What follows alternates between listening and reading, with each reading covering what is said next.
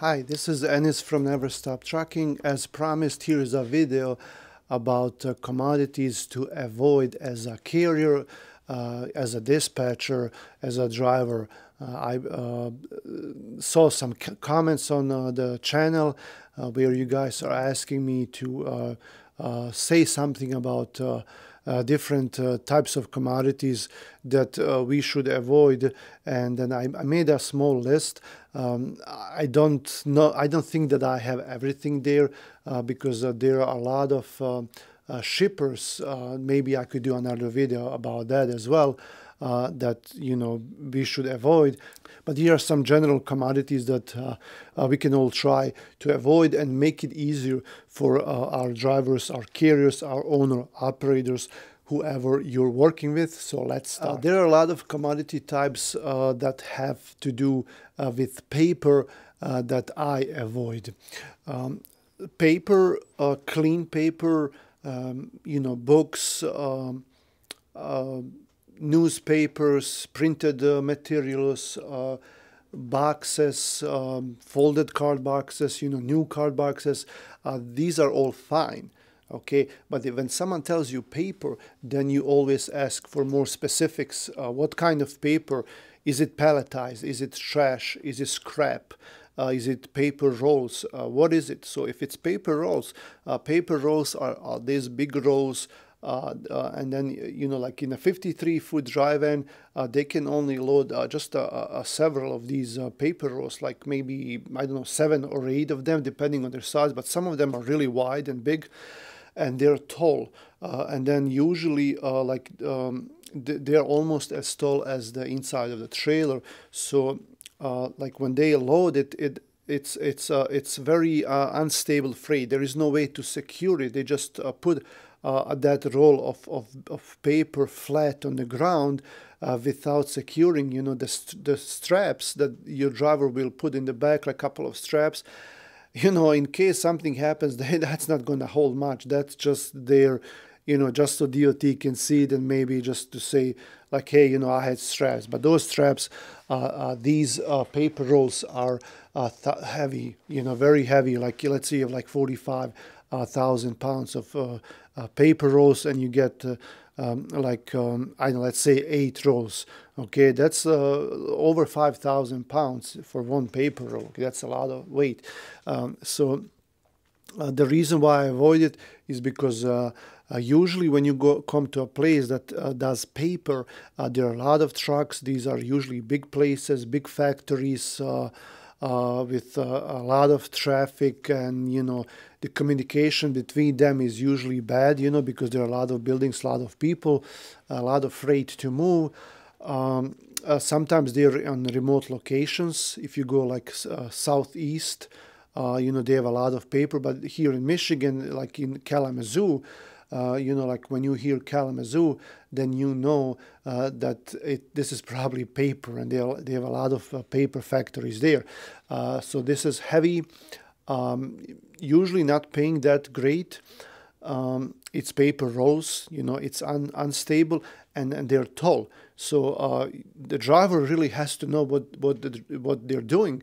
Uh, like if they're um, in, in, a sharp curve on an on and off ramp, um, you know, making sudden turns, uh, they have to be very careful because it's easy to tip over uh, with uh, freight that, that is high like that. Okay, um, so uh, that's why I avoid them. Uh, if someone tells you uh, scrap paper, then that's also to be avoided. Um, and then when they say scrap, you tell them trash. They say, no, no, no, it's it's not trash. It's just shredded paper. Well you know what is it? It's you know recycled paper. Uh, they shred like they get all these uh, um, you know paper sheets uh, not cardboard. It's, it's mostly paper. And then they just shred them. And they um, press them into big uh, squares okay? And uh, uh, these squares are, are pressed together and they're usually tied up a little bit like a wire or something uh, and then uh, they bring them in with a high-low in, in your truck. Uh, but not not this is only heavy, not not not just that this is heavy, uh, not that it's tall. Uh, it uh, leaves a, mess in your trailer so when when they offload it, then the driver has to sweep it up. Uh, it's a lot of mess. Um, sometimes it's it, it, can be wet or dirty, and then it messes up your trailer.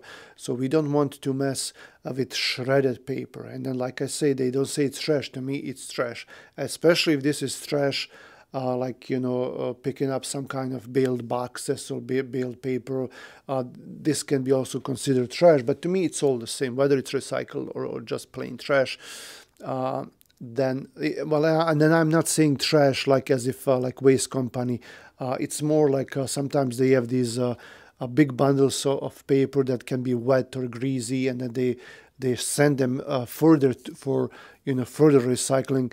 And then uh, to me i just call it uh, trash. It's not garbage. So those are all the uh, paper uh, things that uh, you should avoid uh, scrap paper slash recycled slash bales or roll paper sometimes when they have paper rolls they have these um, um, these short rolls they're not as tall they're like two three four feet high you know and, and those are okay um, to me, those are okay as long as it's not big paper rolls, you know. Uh, to, so that for for me, that's I don't like doing that. I mean, uh, when I was driving, I did a lot of them, and I've I've done them, but I know most drivers don't like them, and, and I just don't uh, ask them to do that. Anything that uh, has a word uh, scrap or uh, recycled, okay, and sometimes brokers, you know, because maybe they don't know or maybe they do know, but they just don't, you know, no one wants that load and they kind of just uh, present it to you in a, in, in a really different way. Um, they, they, will not say that this is scrap or recycled, but uh, you can tell. Uh, when, when you get the rate confirmation, you can tell uh, if you look at the shipper or receiver, uh, the commodity, um, it will sometimes say, uh, you know, something about recycling, okay? Um, and then you can also look up these uh, companies on Google, and then you, you know we have pictures, we have satellite, we have street views, uh, we have reviews for these companies, and then you can tell whether this is a, a recycling place. And so whatever it is, plastic, uh, metals, uh, aluminum, paper, um, that has to do with that, I avoid uh, because it's heavy. Uh, sometimes they require scale tickets. You know, you have to scale it at the shipper or receiver or go to a, a scale house at a, at a truck stop. Uh, generally, these are dirty. Uh, they leave a, leave a mess in your trailer, like uh, because all these are probably bundled to, together, just pressed together, and then um, uh, you know things come off as they load them as the truck moves. You know there's gonna be a big mess of plastics, of of metals, shavings. You know it it gets stuck into the wooden floor. Um, sometimes when they press these uh, plastic bottles together, uh, then uh, there are a lot of, uh, you know, like like soda pops, you know, this sugar and and, and these juices will uh, flow out and then just get stuck on your floor and you can't uh, you have to do a trailer washout okay? Because it, it just gets greasy and, and slippery and sticky you know? You can't you can't load anything decent after that. So you have to do a um, a trailer washout and uh, and that not just slows you down and costs money it also sometimes after you get a, trailer washout uh, your floor gets wet gets wet and uh, um, sometimes driver has to wait for the floor to dry out you know because they might not load them with food or, or something that's uh, sensible uh, sensitive to uh, moisture so anything that has scrap in it, I just don't do. Uh, anything that has a word soil or nursery, uh, uh, and that's you know usually plants, some kind of plants, uh, you know, fruits like fruit trees or uh, um, Christmas trees. So that they, uh, you know, these trees and plants, you know, they they have roots. They have sometimes they have pots, but sometimes they're just wrapped um, you know, and then you know there's uh, soil and dirt around those roots or in these spots, and this all uh, usually get uh, is loaded by hand and just put um, uh, on the floor like that. Uh, sometimes these plants or flowers, you know, they can be on racks, but then they have to be pushed in, and sometimes they will tip over and generally, uh, these loads take long time to load, a long time to unload. You would have to go to a nursery somewhere in the country, and then when you unload, you may uh, have to go to different stores to unload them. You know, in, in each store, you you may have to assist. Uh, but uh, yeah, leaves your uh, trailer dirty.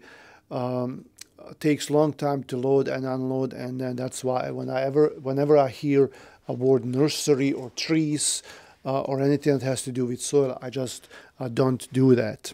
Um, anything uh, that has to do with mulch, uh, mulch I don't do uh, either.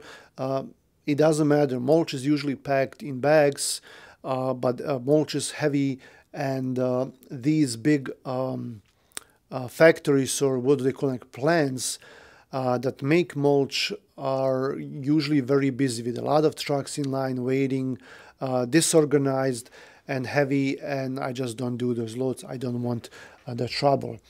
Um, another thing is uh, uh, shingles, okay, for roofing. And then uh, brokers have a nice word for this building materials. Uh, whenever you hear building materials, always ask, you know, what kind of building materials, because that's a broad term. You know, when you say building material, um, it can be a lot of things. It can be clean and on pallets, but it can be dirty um, it can be something out of ordinary. Uh, if they say shingles or if I notice, then I, I won't do the load. I have done it myself when I was driving. Usually, again, these are big plants uh, with a lot of trucks. Shingles usually they, they load outside. They usually sit on the outside on on on on, on their um, uh, lots. Um, you know, under uh, rain and snow and then they have these ramps you just back up to a ramp with a truck you know and then they just bring them in uh, with the high-low uh, but these loads are very heavy. Shingles are very very heavy and there are a lot of trucks there waiting uh, on, on, like trying to uh, drive between these uh, piles of shingles uh, very disorganized and um, very much traffic. Sand in bags is another commodity I uh, don't want to do. Uh, sand is heavy, same thing uh, as with other building products. Uh, there are a lot of trucks there, um, probably outside, very heavy. And, you know, they're usually, all, all these things are very cheap, you know, paper, shingles, sand, mulch. They, they don't pay good rates on this uh, anyway. Um, so it's, it's really not worth uh, doing it. brick another thing, another building material. Uh, bricks are heavy, uh, they tend to leave a mess, uh, and I just don't want to do bricks. Coils. Uh, coils, in my opinion, are uh, meant to be transported with flatbeds, unless these are these some you know like low low profile coils and you know very well secured to um, a pallet uh, and then they just put those pellets in the truck, then that should be fine. But if these are big coils, you know, big, tall, wide coils, and sometimes they just put them flat on the ground, uh, that's not safe. You know, if, if a, a truck can easily uh, tip over uh, and, uh, you know, this load can slide, you know, if the driver, you know, uh, suddenly brakes, everything can shift forward and even kill the driver and then I don't want to do uh, coils. Okay, coils, uh, in my opinion, are for flatbeds. Graphite, uh, and this is uh, usually in big bags. Um, big bags, uh, and and this is black, and uh, it's powder and uh, it leaves a big mess in your trailer. And usually these are also plants and they have a lot of them in like New Mexico and and over in, the, in over there in that area. And then the you brokers will not tell you. They, they are in remote areas. Um, uh, they, they just um, make it somewhere outside the city and you know big bags uh, heavy uh, a big mess in your trailer. Uh, don't don't uh, mess with that water, uh, and then this is usually uh, water in bottles, and then you have a lot of factories doing that. you know, like Coke, Nestle water, these big makers of bottled water. Uh, and you know th these are clean loads uh, there's nothing wrong with them it's just that usually uh, not that not just that they're heavy but usually it takes long time to load and unload usually they go to big DCs they'll maybe deliver at night and you know pick up in a big DC, and it's just a mess uh, over there. You know they have a lot of rules, and uh, be just I just don't want to mess with that, um, so I don't do water. And then uh, another uh, commodity that I don't do is beer. Um, beer is um, you, you, know you can uh, there are a lot of cities who, who do beer, and then I, I don't know if I'm gonna you know think uh, of all of them right now like St. Louis, uh, Denver, Colorado, uh, Syracuse, New York, Rochester, New York. Um, they, they, have a Columbus, Ohio. Uh, they have a lot of beer there. So when you see one of those cities, uh, it could be beer. It doesn't have to be, but it could be beer, especially if it's heavy, like 44,000. And beer is very, very, um, the, these, the, this is really um, unusual the way they do it. Uh, not just that it takes long time alone, not, not just that it's heavy, it's like really heavy. They like they would sometimes uh, put put your truck on a scale and then load it like like all the way to the last pound, literally, just like you know, like beer comes in, in these uh, box cases, and then if if you're uh, like twenty pounds, if you're twenty pounds too heavy, uh, somewhere on an axle or on a truck, they're not gonna take the whole pallet. They're just gonna take that one box off you know, they, that that's how they are. Um, so beer uh, is is just not, and then a lot of people will not do it uh, uh, for religious uh, reasons or you know moral reasons, or whatever uh, your thing might be. So usually when the broker calls you, they will tell you that it's beer, uh, that it's alcohol. Um, so and then I don't I don't do beer uh, due to a, a, lot of reasons. Okay, uh, not not just heavy. It's also religious. It's also you know uh, don't want to do morally anything with alcohol. Um, for me, so that that's another reason, but also a big reason, but because it's heavy and and and these are um, very uh, long wait times at pickup and delivery. Uh, I hope this video helped you a little bit.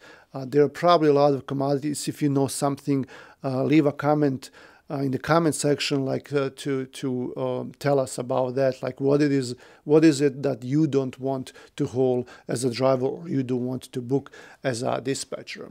So uh, thanks for watching. Like the video come back for more and i'll see you around